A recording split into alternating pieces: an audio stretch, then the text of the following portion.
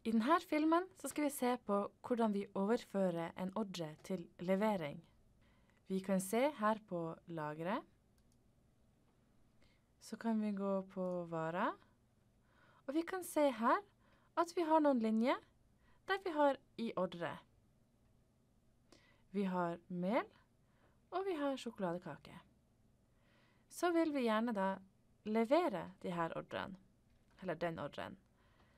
Det gjør vi gå på salg, ordre, huke av den ordren vi skal levere, og trykke 'overfør til levering'.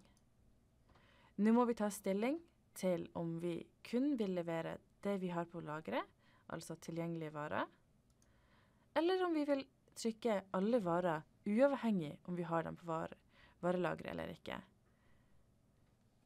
Dette vil påvirke hvordan Economic fyller ut din pakkeseddel og din fraktseddel senere.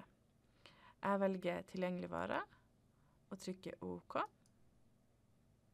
Får beskjed om at det er to linjer som er overført. Trykker på lukk. Og vi ser nå at det står 'levert'. Men vi kan gå inn på varelageret vårt og se at det endra står i ordre. Det er først når man skriver ut et fraktbrev at det forsvinner helt. Vil du vite mer, kan du sjekke ut vår Ekopedia eller de andre YouTube-filmene våre.